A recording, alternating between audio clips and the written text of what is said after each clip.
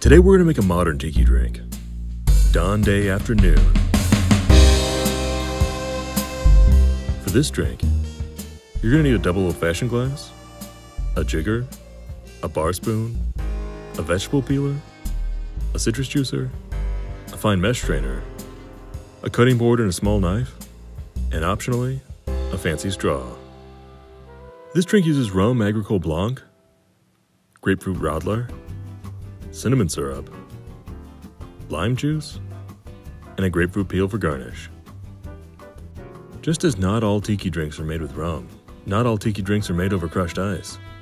In spite of its ice and unconventional concept, this drink is very tiki. It's at the same time familiar and completely unexpected. It's super boozy, but the juices and sweeteners are lighter than usual. And because it's sort of a highball, it's bright and refreshing. It was designed for day drinking, particularly on a hot day. The drink was created in 2015 by Martin Cate, the tiki guru behind Smuggler's Cove the book, Smuggler's Cove the bar, and several other tiki bars. When writing the book with his wife, Martin came up with several new recipes. This was one of them. He wanted to create a beer cocktail that could be built in the glass, but still keep both feet firmly planted in the land of tiki. The name is a reference to the movie Dog Day Afternoon. That's both a nod to Donn Beach as well as the hot, sticky dog days of summer. In the movie, during a heat wave, the Al Pacino character gets embroiled in a bank robbery gone wrong. The heat is almost a supporting character in the movie. It's penetrating and oppressive. And it stays with that kind of heat that Martin had in mind for this drink. Donn Beach, of course, is the father of Tiki. He opened the first Tiki bar Don the Beachcomber right after Prohibition.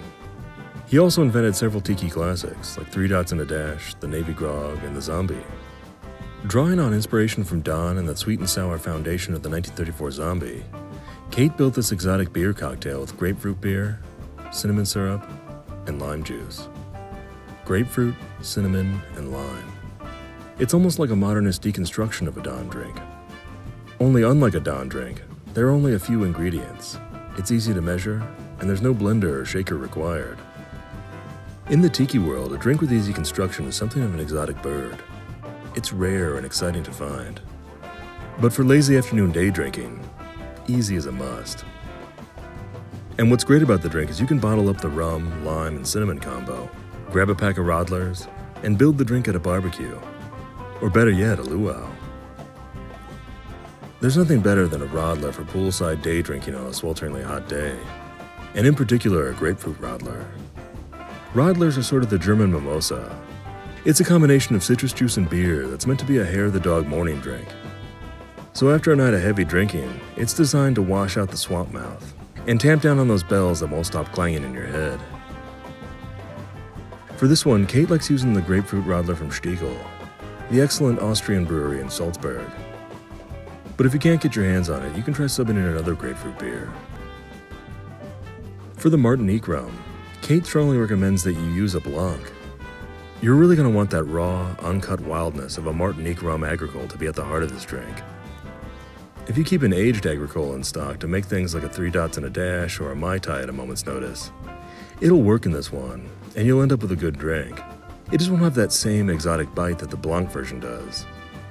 But sometimes you gotta play the cards you're dealt. This drink isn't exactly low ABV like you want most day drinks to be.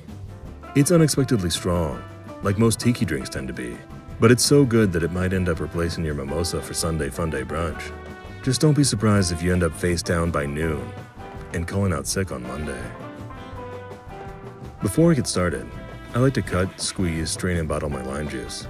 That way it's easier to pour when it comes time to measure. Then prep your glass by filling it with ice cubes and giving it a quick stir to chill down the glass. Next, measure out 2 ounces of rum Pour that in your glass. Measure half an ounce of cinnamon syrup. Pour that in your glass. Measure half an ounce of lime juice. Pour that in your glass. Give everything a good stir to chill it down. Then pop open your Radler and pour it in your glass.